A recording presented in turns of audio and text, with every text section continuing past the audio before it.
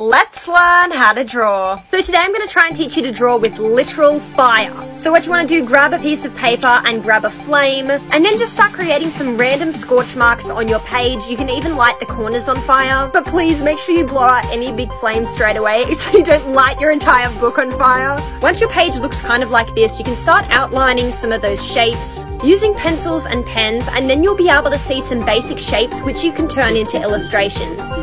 Once you figure out the basics of what you want to draw, then you can go in and add more details. This is what I came up with in the very short amount of time I was filming this video. I could have done a lot better, but if nothing else, it is actually super fun to light your book on fire. Just please don't burn your house down.